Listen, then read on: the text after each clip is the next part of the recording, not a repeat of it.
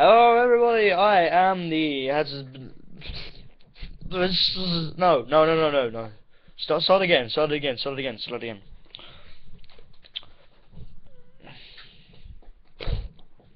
Hello. I am the Hazza Peninsula and this is basically just well I don't know. It's just a hello. Just a little hi how you doing I do games and stuff because I have nothing better else to do with my life except A levels. But as you can see, I've got my priorities all wrong. Um, so yeah, so if you want want to subscribe to me, then then that'd be gr great. Hint, hint, you, if you want to subscribe to me, then that would be really amazing. Um, because I want to get this channel up and running, and I can only do that if people watch my videos. Which they probably not gonna do, because I am not very good at commentating on the spot. As you may have seen in the um, Let's Play of Spyro the Dragon, which we did the entire game, myself and Crimson Drakenya, so subscribe to him as well. He's got more subscribers than me, but I've been on some of his videos.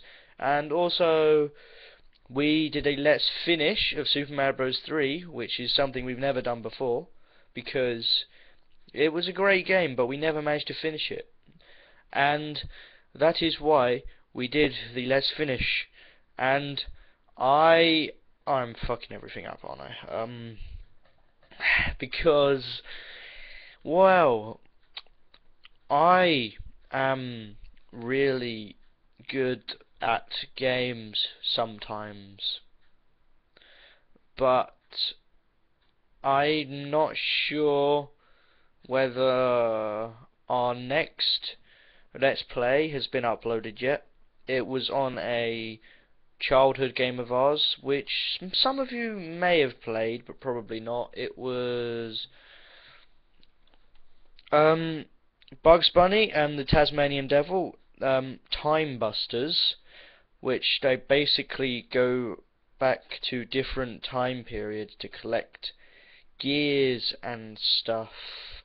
Plus, Bugs can dive bomb himself headfirst into the ground, which is pretty funny actually. to be honest, it I well, it's got all that Looney Tunes charm in it, which a treasured childhood program to be honest, and the game is pretty good to be honest. You should check it out. I don't think he's uploaded it yet, which is strange, but we're fine with that. I'm sure you're fine with that. You can just play the game yourself. You got a PS1, you just plug that game in, you just buy it. You can buy it on eBay or something like that. I don't know. It might not be that expensive. Maybe you can just get an emulator on your laptop, which is what I'm going to do so that I can play games myself. Um, but basically, yeah. That is my introduction video, which I completely made a hash of. So, goodbye.